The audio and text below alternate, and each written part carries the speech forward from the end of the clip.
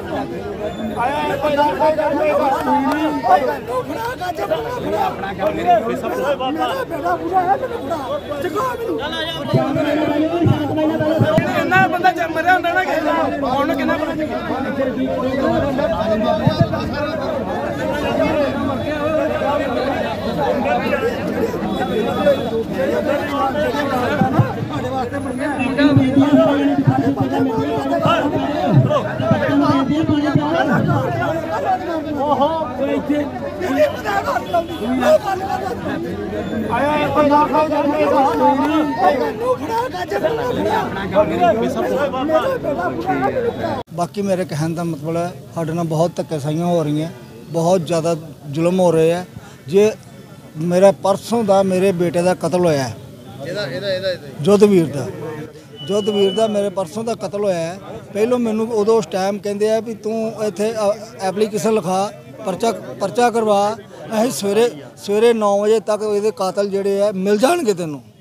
ਚਲੋ, ਆਪਾਂ ਉੱਥੇ ਪਰਚਾ ਕਰਵਾਤਾ, ਸਵੇਰ ਦੇ 9 ਵਜੇ ਗਏ। ਫਿਰ ਇਹਨਾਂ ਗੋਂਗਲੂ ਦੀ ਮਿੱਟੀ ਝਾੜਤੀ, ਨਹੀਂ ਉਹਨਾਂ ਦੇ ਫੜੇ ਨਹੀਂ ਗਏ, ਘਰ ਨਹੀਂ ਲੱਭਣ ਡੇ ਉਹਦਾ ਲੋਕੇਸ਼ਨ ਨਹੀਂ ਲੱਗਣ ਡਈ। ਲੋਕੇਸ਼ਨ ਉਹਦੀ ਨਹੀਂ ਲੱਭਣ ਡਈ। ਮੈਂ ਇੱਥੇ ਕਿਸੇ ਬੰਦੇ ਥੱਪੜ ਮਾਰਦਾ, ਮੈਂ ਫੋਨ ਬੰਦ ਕਰ ਲੈਣਾ, ਮੇਰੀ ਮੇਰੀ ਮੇਰੀ ਲੋਕੇਸ਼ਨ ਬੰਦ ਹੋਈ ਨਹੀਂ ਹੈ। ਮੇਰੇ ਘਰ ਦਾ ਮੇਰੇ ਕੋਈ ਪਰਿਵਾਰ ਚੁੱਕਣਗੇ। ਫਿਰ ਮੈਂ ਫੜਿਆ ਜਾਣਾ। ਉਹਦੀ ਮਾਂ ਚੁੱਕਣ, ਉਹਦੀ ਭੈਣ ਚੁੱਕਣ, ਉਹਦਾ ਭਰਾ ਚੁੱਕਣ, ਉਹਦਾ ਪਿਓ ਚੁੱਕਣ, ਆਪਣੇ ਆਪ ਬੰਦਾ ਗ੍ਰਿਫਤਾਰ ਹੋਏਗਾ। ਕਿਉਂ ਨਹੀਂ ਗ੍ਰਿਫਤਾਰ ਹੁੰਦਾ? ਨਹੀਂ, ਤੇ ਮੈਨੂੰ 10 20 ਮਿੰਟ ਦਾ ਟਾਈਮ ਦੇਣ, ਬੰਦੇ ਦਾ ਬੰਦਾ ਮੈਂ ਮਾਰ ਦਿੰਦਾ, ਨਾ ਮੈਂ ਪਰਚਾ ਉਹਨਾਂ ਦੇ ਕਰਾਉਂਦਾ ਤੇ ਨਾ ਮੇਰੇ ਤੇ ਹੋਏ। ਬਸ, ਮੇਰੀ ਪ੍ਰਸ਼ਾਸਨ ਅੱਗੇ ਇਹੀ ਬੇਨਤੀ ਹੈ। ਹੱਥ ਜੋੜ ਕੇ ਬੇਨਤੀ ਹੈ, ਮੈਨੂੰ ਇਨਸਾਫ ਮਿਲਣਾ ਚਾਹੀਦਾ, ਨਹੀਂ ਤਾਂ ਮੈਨੂੰ ਇੰਨਾ ਟਾਈਮ ਦੇ ਦਿਓ। ਇਹਦੇ ਵਿੱਚ ਜੀ ਪੁਲਿਸ ਆਪਣੀ ਕਾਰਵਾਈ ਕਰ ਰਹੀ ਹੈ ਰੇਡ ਵੀ ਕਰ ਰਹੀ ਹੈ, ਜਿੱਥੇ ਤੇ ਪਤਾ ਇਨਫੋਰਮੇਸ਼ਨ ਮਿਲ ਰਹੀ ਆ। ਉਹਨਾਂ ਦੇ ਫੋਨ ਦੀਆਂ ਲੋਕੇਸ਼ਨਾਂ ਵੀ ਲੈ ਰਹੀ ਆ। ਜਿੱਥੇ ਵੀ ਸਾਨੂੰ ਇਨਫੋਰਮੇਸ਼ਨ ਮਿਲ ਰਹੀ ਹੈ ਪੁਲਿਸ ਰੇਡ ਕਰ ਰਹੀ ਹੈ ਤਫਤੀਸ਼ ਕਰ ਰਹੀ ਆ ਇਹਨਾਂ ਨੂੰ ਸਮਝਾਇਆ ਵੀ ਤੁਸੀਂ ਇਸ ਕੰਮ 'ਚ ਨਾ ਪਾਓ ਪੁਲਿਸ ਨੂੰ ਆਪਣਾ ਕੰਮ ਕਰਨ ਦਿਓ। ਕਦੋਂ ਤੱਕ ਲੱਗਦਾ ਜੀ? ਦੇਖੋ ਜੀ ਅਸੀਂ ਲੱਗੇ ਆ ਲੋਕੇਸ਼ਨਾਂ ਵੀ ਲੈ ਰਹੇ ਆ ਹਰ ਕੰਮ ਜਿਹੜਾ ਪੁਲਿਸ ਦਾ ਤਫਤੀਸ਼ ਆ ਉਹ ਚੱਲ ਰਹੀ ਆ। ਉਹਨੂੰ ਭਾਵੇਂ ਸਵੇਰੇ ਫੜਿਆ ਜਾਵੇ ਤੇ ਭਾਵੇਂ ਚਾਰ ਦਿਨ ਲੱਗ ਜਾਣ। ਹਾਂ ਚੱਲ ਰਹੀ ਹੈ ਜੀ ਲੀਚਾ ਕਹਿੰਦੇ ਅਸੀਂ ਲੰਬੇ ਸਮੇਂ ਲਈ ਲਾਵਾਂਗੇ ਜਦੋਂ ਤੱਕ ਇਨਸਾਫ ਨਹੀਂ ਨਹੀਂ ਜੀ ਇਹ ਤੇ ਫਿਰ ਇਹਨਾਂ ਦੀ ਬੇਵਕੂਫੀ ਹੈ ਜੀ ਇਹ ਲੰਬੇ ਸਮੇਂ ਤੱਕ ਲਾਉਂਦੇ ਆ ਤੇ।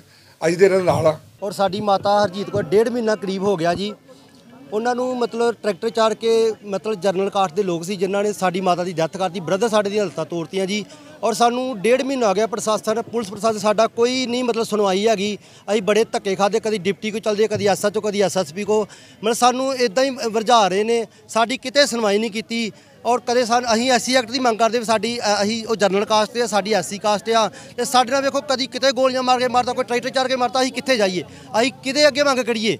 ਸਰਕਾਰਾਂ ਅੱਗੇ ਮੰਗ ਕਰੀਏ, ਪੁਲਿਸ ਅੱਗੇ ਮੰਗ ਕਿਹਦੇ ਕਿਹਦੀ ਕੋਲ ਮੰਗਾਂ ਮੰਗੀਏ ਦੱਸੋ?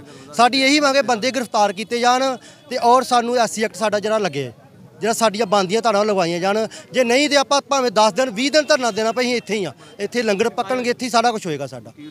ਔਰ ਸਾਡੇ ਜਿਹੜੇ ਕਹਿੰਦੇ ਡੀਏ ਸਾਹਿਬ ਨੇ ਕਰਨਾ ਜੀ ਡੀਏ ਸਾਹਿਬ ਨੇ ਵੀ ਕਰਤਾ ਸਾਰਾ ਕੁਝ ਕਹਿੰਦੇ ਇਹਨਾਂ ਦੀਆਂ ਲੱਗਦੀਆਂ ਧਾਰਾਂ ਲਾਓ। ਔਰ ਇਹ ਸਾਡਾ ਪੁਲਿਸ ਪ੍ਰਸ਼ਾਸਨ ਕੋਈ ਸਾਡੀ ਸਹਾਇਤਾ ਨਹੀਂ ਕਰਦੀ। ਸਾਨੂੰ ਇਹ ਕੀ ਸਮਝਦੇ ਨੇ ਕਿ ਸਾ- ਅਸੀਂ ਇਨਸਾਨ ਨਹੀਂ ਹੈਗੇ। ਡੀਏ ਸਾਹਿਬ ਨੇ ਸਾਰਾ ਕੁਝ ਕਹਿਤਾ ਵੀ ਇਹਨਾਂ ਦੀਆਂ ਇਹਨਾਂ ਦੀਆਂ ਜਿਹੜੀ ਬੰਦੀਆਂ ਧਾਰਾਂ ਲਓ। ਪੁਲਿਸ ਪ੍ਰਸ਼ਾਸਨ ਕੀ ਕਰਦੀ ਪਈ ਆ?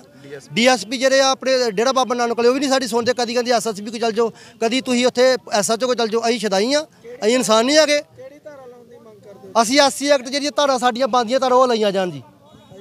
ਅਜੇ ਕੋਈ ਧਾਰਾਂ ਨਹੀਂ ਸਾਡੀਆਂ ਲੱਗੀਆਂ ਜੀ। ਸਾਨੂੰ ਡੇਢ ਮਹੀਨਾ ਹੋ ਗਿਆ ਜੀ ਅਸੀਂ ਅਸੀਂ ਮੰਗ ਮੰਗ ਕਰ ਰਹੇ ਹਾਂ ਸਾਡੀ ਸੁਣਵਾਈ ਹੋਏ ਸਾਨੂੰ ਧੱਕੇ ਮਾਰਦੇ ਕਦੀ ਉਧਰ ਡਿਪਟੀ ਸਾਹਿਬ ਸਾਡੇ ਨਾਲ ਗੱਲ ਹੀ ਨਹੀਂ ਕਰਦੇ ਜੀ। ਉਧਰ ਭੱਜੋ ਉਧਰ ਭੱਜੋ।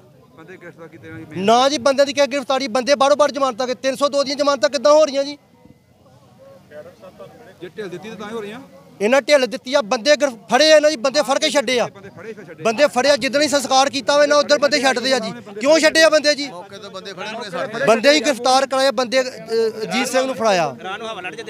ਬੰਦਾ। ਸੰਤੋਖ ਸਿੰਘ ਨੂੰ ਫੜਾਇਆ ਉਹ ਇਹਨਾਂ ਛੱਡਿਆ ਜੀ। ਐਸਐਚਓ ਕੁਲਵਿੰਦਰ ਸਿੰਘ ਨੇ ਛੱਡਿਆ। ਕਿਉਂ ਛੱਡਿਆ ਜੀ ਇਹ?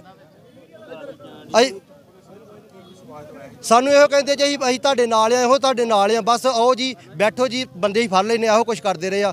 ਅਸੀਂ ਉਹਨਾਂ ਦੇ ਭਰੋਸੇ ਰਹੇ ਆ ਵੀ ਸਾਡੇ ਪੁਲਿਸ ਪ੍ਰਸ਼ਾਸਨ ਸਾਡੇ ਨਾਲ ਆ। ਸਾਡੀ ਕਿਸੇ ਨੇ ਸੁਣਵਾਈ ਨਹੀਂ ਕੀਤੀ।